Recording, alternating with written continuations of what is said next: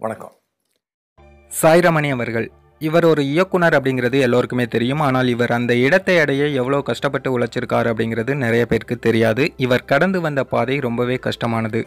ஒரு ஏழ்மையான குடும்பத்தில் பிறந்து சினிமா துறையில் நுழைந்து அசிஸ்டன்ட் டைரக்டராக இருந்து அதன் பிறகு இயக்குனராகி இருக்கிறார். நடிகர் ஜீவா நடித்த சிங்கம் புலி மற்றும் தலைவரின் தீவிர ரசிகரான ராகவா லாரன்ஸ் நடித்த மொட்ட சிவா கெட்ட சிவா ஆகிய வெற்றி படங்களை இயக்கியுள்ளார். அது மட்டுமல்லாமல் சில திரைப்படங்களில் நடித்தும் இருக்கிறார். இவர் குடும்பம் பணக்கார குடும்பம் கிடையாது சினிமா துறை சம்பந்தப்பட்ட குடும்பமும் கிடையாது. அப்படி இருந்தும் இந்த அளவுக்கு இன்று திரைத்துறையில் தனக்கென்று ஒரு இடத்தை பிடித்திருக்கிறார். நிச்சயம் இது பாராட்டுக்குரிய விஷயம். இன்னொரு முக்கியமான விஷயம் இவர் தலைவர் சூப்பர் ஸ்டார் ரஜினிகாந்த் அவர்களின் தீவிர ரசிகர். சின்ன வயதிலிருந்தே தலைவரின் ரஜினி ரசிகர் மன்றத்தில் உறுப்பினராக இருப்பவர் இப்போது ரஜினி மக்கள் மன்றத்தில் இருக்கிறார். தலைவர் ரஜினி சம்பந்தப்பட்ட விழா என்றால் முதல் ஆளாக கலந்து கொள்பவர்.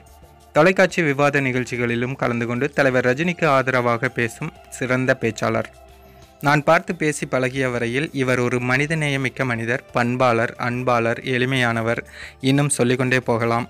இத்தனை நல்ல விஷயங்களும் இவரிடம் இருப்பதில் ஆச்சரியமில்லை. ஏனென்றால் இவர் தலைவர் ரஜினியின் ரசிகராயிற்றே. இப்படிப்பட்ட அன்புள்ளம் கொண்ட இயக்குனர் சாய்ரமணி அவர்களுக்கு இன்று பிறந்த நாள். இயக்குனர் திரு சாய்ரமணி அவர்களுக்கு தலைவரின் ரசிகர்கள் சார்பாகவும் காலாவின் காவலர்கள் சார்பாகவும் இனிய பிறந்த நாள் வாழ்த்துக்களை தெரிவித்துக் கொள்கிறோம்.